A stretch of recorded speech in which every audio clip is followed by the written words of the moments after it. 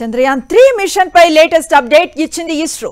అంతా అనుకున్నట్లే జరుగుతోందని రేపు సాయంత్రం ల్యాండింగ్కు రెడీ అని ప్రకటించింది. సిస్టమ్స్ను ఎప్పటికప్పుడు చెక్ చేస్తున్నామని తెలిపారు ఇస్రో శాస్త్రవేత్తలు. విక్రమ్ ల్యాండర్ ప్రయాణం సవ్యంగా సాగుతోన్నట్టు గుడ్ న్యూస్ చెప్పారు. బెంగళూరులోని మిషన్ ఆపరేషన్స్ కాంప్లెక్స్ సరికొత్త బలం ఉత్సాహంతో నిండిపోయిందంటూ ట్వీట్ చేసింది ఇస్రో. కోట్లాది మంది భారతీయులు ఉత్కంఠగా ఎదురు చూస్తూ ఉన్న చారిత్రక క్షణాలు చేరువయ్యాయి. మరి కొద్ది గంటల్లో విక్రమ్ ల్యాండర్ జాబిలి దక్షిణ ధ్రువంపై అడుగు పెట్టనుంది. జులై పద్నాలుగున శ్రీహరికోటలోని షార్ నుంచి రోదసిలోకి దూసుకు వెళ్ళిన చంద్రయాన్ త్రీ బుధవారం సాయంత్రం ఆరు గంటల నాలుగు నిమిషాలకు చంద్రుడిపై సాఫ్ట్ ల్యాండింగ్ చేయనుంది. ఈ క్రమంలోనే నలభై రోజుల చంద్రయాన్ త్రీ ప్రయాణాన్ని అరవై సెకండ్స్లో చూపిస్తూ ఓ వీడియోను రిలీజ్ చేసింది press information bureau PIB landing నుంచి లాంచింగ్ నుంచి ల్యాండింగ్ వరకు చంద్రయాన్ త్రీ జర్నీని మనము చూసేద్దాం.